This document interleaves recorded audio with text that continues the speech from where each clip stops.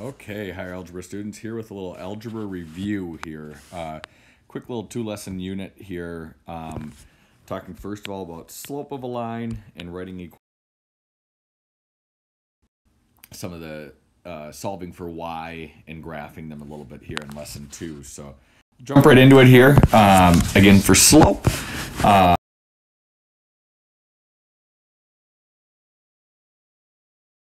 um, it's denoted by this uh, letter M oftentimes, and and the rise is a change in the y's on a graph. Okay, so the y is going up and down, the x is going left and right again. So the rise over run would be the change in the rise, which is a y2 minus y1, which you probably remember from your uh, previous algebra classes. And then x2 minus x1 would be the um, would be the run. Now, doesn't really matter which ones are the twos and which ones are the ones. What you just have to be consistent about is is the the twos should be the same point on the graph. Um, and the ones should be the same point on the graph. And so you just have to be mindful that you have that set up um, and you don't cross them. So for instance, take the y value from one point and right below it is the x value from a different point. So um, keep that in mind. And here we go. So a positive slope, again, is going to be where the rise, as we're going left to right, the rise is going up. Um, negative slope would be the rise is going down, so obviously it's more of a fall rather than a rise. Um, so keep that in mind that that uh, positive slopes, if if you're if you write a slope and it's negative, but your picture looks like this, that would be problematic, and vice versa. If you write a slope that's um, that is positive, but your your picture looks like this, then of course that would be problematic. Um, so if we look at this picture here, we've got a, a few points here. Um, we'll just look at the stars on this one. Um, so we look at, for instance, going through these three stars right here. Um, that should be a negative slope. Um, we've got the points. If you look at the the scales here, this is the point two eight. This is the point eight six. This is the point fourteen four. And again, it doesn't matter which two points you pick, as long as they're all on the same line. You you pick two that that look easier for the math, and, and you may find here that easier for the math means that you're going to stay with the smaller numbers and not use the biggest one. So I would just right here label this x1, y1 and x2, y2. And again, I chose the bigger point, uh, the 8, 6, um, I shouldn't say bigger point, but the bigger x value here um, to be my uh, x2. Um, but again, doesn't really matter, and well, I'll show you that here in a moment. So when you look at this y2 for slope here, y2 minus y1 over x2 minus x1, that here is equal to 6 minus 8. Okay, that's our y2 minus y1 is 6 minus 8 over 8 minus 2, which is our x2 and our x1. So that gives us a negative 2 over 6 or negative 1 third slope.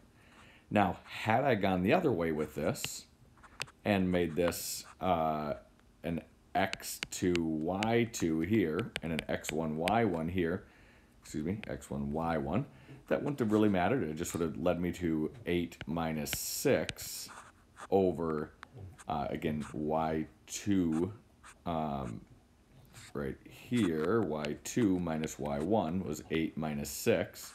And then x2 minus x1 would be 2 minus 8. So that gives us a 2 over a negative 6. Well, 2 over negative 6 is also just 1 over negative 3 or negative 1 third. So it doesn't matter. Um, obviously, I want to make sure I have a negative slope since this line is going downhill. Um, so the slope of that line would be negative one third. Now I could also have here something like this where I have this line here going through those two points or or even a vertical line or a horizontal line and these are all going to lead you to different slopes. Um, a horizontal line would be a slope of zero. vertical, which we'll talk about shortly. This vertical line is actually a slope of infinity, and then this is a positive slope here. Um, but we'll leave it at the at the one third for now. Now, um, when we're talking about the y-intercept now, you do have to be mindful, and I'm going to just actually erase a little bit here around this part, um, and look at okay, the y-intercept value. If we were to continue going back at this rate, okay, um, keep in mind that we are going up 1 over 3 as we go backward. Um, that's the idea of a negative one-third slope. Um, so as we're going up 1 over 3 and up 1 over 3, well now the next point up 1 over 3 would be right here. So our, our intercept is not actually a whole number. Um, it's actually two-thirds of the way between 8 and 9. Um, so our slope here ends up being 8.6 repeating. Now again, this is this is a little more complicated right here. Um, you won't you can we have ways that you will find that a little more easy easily moving forward. But um, just looking at this line here for what the y-intercept would be is if we are going up one and over three, that means by the time we've gone over two, we've gone two thirds of the one that we're supposed to go up when we go backward there. So um, so that's our, our y-intercept. And then as we expand it even more, how do you make the line end? Well, the line is either going to be indefinite, in which case we would continue to draw this with arrows, okay? Um, or if it does actually stop, then we'll put just a little um, knob of sorts at the end, and it would just look like something like this if it if it actually did terminate or stop you would just have a little ball at the end like that. Um, but most lines that we draw in these graphs do have arrows that, that show that signify that the line goes on forever. Um, so again, big thing here is slope, and we'll talk about that just a little bit more here moving forward. Um, we have really two forms of an equation here, and what you're going to find is that when we were trying to solve for intercept, it actually is helpful to start in this point slope form and then solve for that value rather than having to try and use the graph and recognize that we're two thirds of the way up or something like that. Um, and so we've we a lot of times will start in point slope and end in your traditional mx plus b that you're used to to dealing with uh, from past algebra classes most likely. Um, and so let's let's take a look at this now. Keep in mind, it if you are given a slope and an intercept, then you just jump right to your clean y equals mx plus b uh, equation where you have m as the slope, you have y, uh, excuse me, b is the y-intercept, so it's right there for you already. Versus this one here, this is if you are given the slope and a point, then you can solve your way, or eventually you'll be in classes where they actually want you to leave it like that. Um, they actually prefer it to not be quite as clean because you can still see the point then and, and so forth. But uh, um, but we'll look at that here on this next slide. So here we have a situation where we've got our slope, so this is m. Um, we've got our y-intercept here, so the y-intercept is given to us. So the y-intercept here, it's telling us that the y-intercept is in fact 7. Okay, so we have this axis, and it tells us that the point 0, 7 is on the graph. So what they're saying there is this is b. So y equals mx plus b here would just be y equals 1 half x plus 7. Okay, because slope was there, so that's your m, okay? And because it gives us the point with the x being 0, that means it's giving us the y-intercept, okay? Um, if the point is 0, then the y-intercept is just what the y value is, which in this case is 7. So there's our equation. Now down here, on the second one, we do get the slope, so we get m, but we get a point. And so going back to that previous slide where this was the slope-intercept equation, now it's time to use the point-slope equation. As you can tell, they're not just clever names. They're telling us basically which one we use if we uh, get a slope and an intercept versus if we get a slope and a point. Um, so this again was y minus y1 equals m and then x minus x1 so we're just going to fill it in. So the, the point they give us, we will just call x1, y1. So we would have y minus a negative 1. Again, the y1 was negative 1, but it starts out as a minus, so you have to be careful with that. Um, that if you get a point that, act that has a negative, it actually turns out to be a plus. Um, and then slope, which is negative 3 fourths here. And then x minus x1, which was 2, so this actually stays a minus, okay? So this equation here would be y plus 1 equals negative 3 fourths and then x minus 2. And I'm not going to solve for y here yet because, again, it is okay to leave an answer like this. We will solve for y uh, in the next, next lesson. Um, but what you would do here if you were to solve for y is you would distribute the slope right here and then subtract 1 from both sides to get this plus 1 over. Okay, um, But again, it's uh, you will encounter situations moving forward where this is the answer that is coveted. Okay, it, it doesn't always need to end up being y equals. It's okay to leave that point like that. So, um, so that would be the point slope form. Now, just to, to conclude here, um, what we are going to encounter a lot is is times where you have just intersecting lines where one of them is going to be a positive slope and one of them is going to be a negative slope. Okay, you will encounter perpendicular lines, which means there's a right angle right there. And in those cases, the, the slope is the opposite reciprocal. Now, the way it's drawn, again, this is actually an infinite slope and this is a zero slope. But if it was a right angle where they were going diagonal, something like this, this slope might be um, 4 fifths. Okay, if that slope was 4 fifths, then opposite reciprocal means that this slope would be negative 5 fourths. Okay, so again, opposite reciprocal means if it's x over, I'll use different letters to not confuse us with the um, with the slope formula here.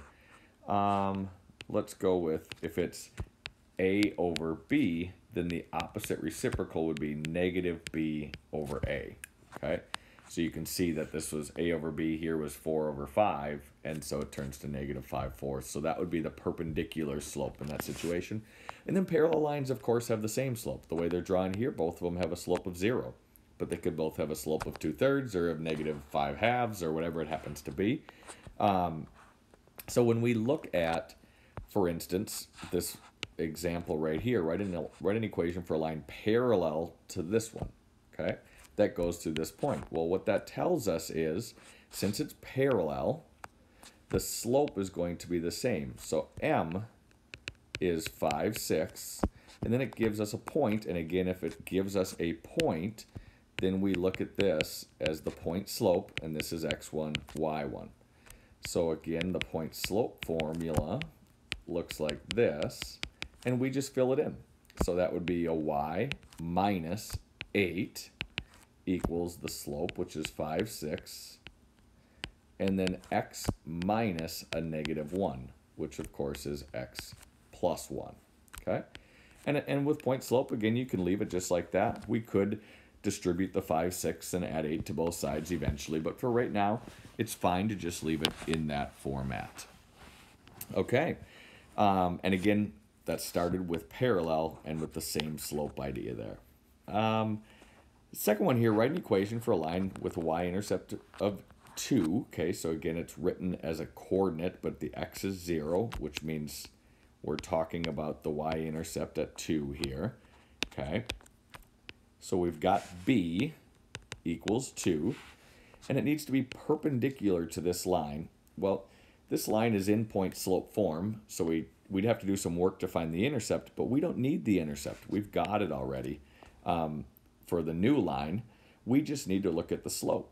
So the slope here was 4, but we needed perpendicular. And again, perpendicular is this opposite reciprocal up here. Okay, so in order to be perpendicular, if the slope here is 4 over 1, then the slope of the line perpendicular would be not just 1 over 4, but negative 1 over 4, which goes back to that negative reciprocal or opposite reciprocal idea. Um, if the slope had started out negative, now it would be positive. Um, it started out positive, so now it's negative. Okay. Um, again, the only exceptions to that are when you have slopes of zero and infinity. Um, otherwise, you're always going to have a positive and a negative when you're looking at perpendicular slopes. So our new slope here, or m, is negative one-fourth. So we can write the equation. And again, we've got m and b, so we're going to write slope-intercept form now. We don't have a point this time um, because they gave us the y-intercept. So this would be negative one-fourth x plus 2. Okay, and there's our final answer. Again, the slope was determined by the perpendicular to a slope of 4, and the intercept was determined by the point given to us there. So in those examples, you see both formats of the equation, both point slope and slope intercept. Okay, this was point slope and this was slope intercept. And you see the parallel and perpendicular rules. Um, so that's that takes care of a little bit with slope and a little bit of writing equations. We'll expand on that in the second lesson, but as always, if you have any questions, please ask. And uh, uh, please give this a shot on the assignment. Thank you.